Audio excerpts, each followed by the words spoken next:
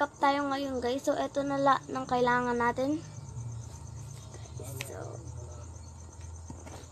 ito guys.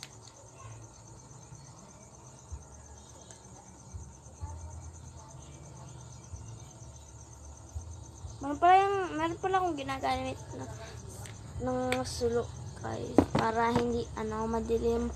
Gabi na kasi rito. Tsaka ito. Tsaka ng lip liner guys. Tsaka ng lipstick. Tsaka isa pang lipstick. Tsaka. Hindi ko alam to guys. Pero ganito siya. Pang ganun siya. Tsaka ng eyeliner. Tsaka nito guys. Tsaka kailangan pa rin natin. Kailangan rin natin to guys. Salamin. Yan la lang kailangan. So guys. So ang uunahin natin gagamitin ito guys. Kumuha tayo ng brush.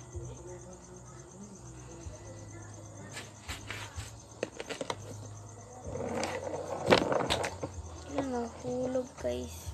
Lagyan na lang natin dito guys. Para hindi na hulog.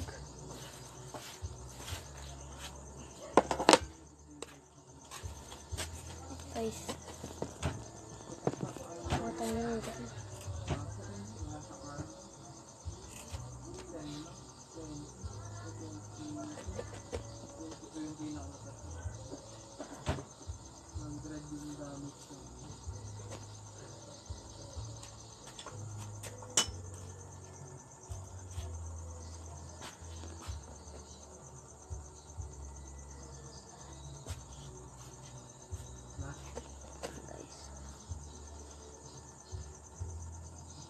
So, gusto ko yung paganyan siya, guys. Para ganyan.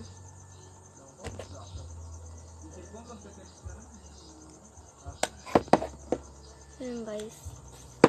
Ang sunod natin gagamitin ay ang hmm, ito, guys. Gawan!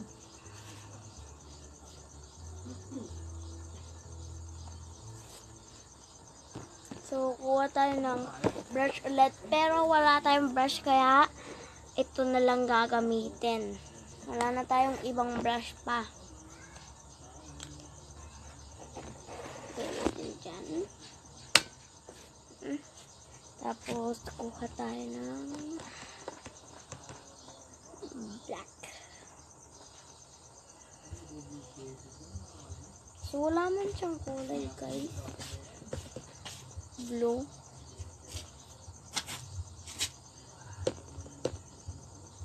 Tsaka ng purple, guys. Wala man silang kulay, guys, pero pwede na yung pink. Tsaka ng maglilipstick na tayo, guys. Yan, guys. Una, kuhanin muna natin itong lip liner, guys.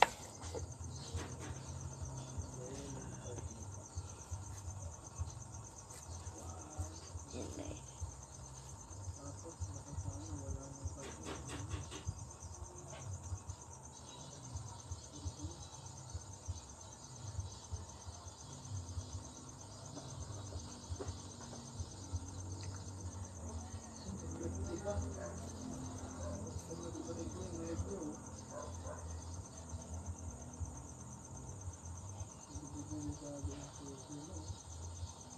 Ganun talaga siya, guys.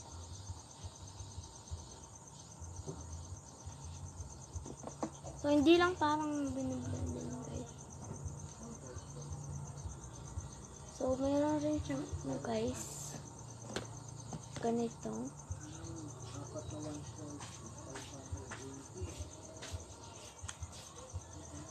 Meron siyang, ganito para pang spread. Guys. So, kunin natin ito ulit, guys.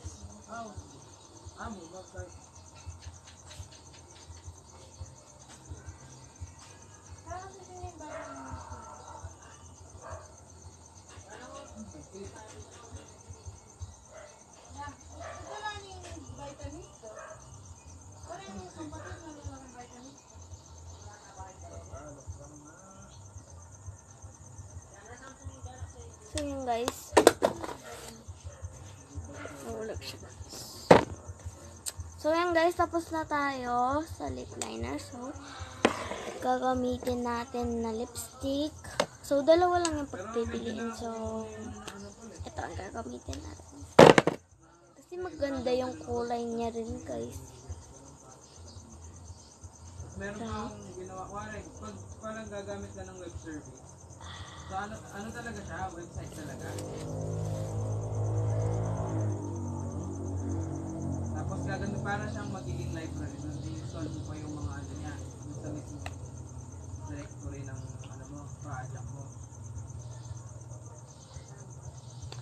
So yun guys, tapos na tayo sa paglilipstick natin guys. Ah, Yung ginawa kanina, Yung sunod natin, guys. Kanina kasi dami yung ini-install. Tapos Ito. nag-CMD ka pa, ganun. So mahihirapan ako rito kasi masikip na, na Nagawa ko yung installation kaso hindi ko natapos kasi minsan meron pang isa, Like- meron pa siyang isang pinapa-install yung Redis. Kaso bago mo ma ano yun, ma-install yun, meron ka pang i-install ulit. Kasi sumuko na ako, mahat na lang ako, diba? Tapos nung ano na, naisip ko pa, pero binasa ko ulit yung ano niya, yung parang instruction dun sa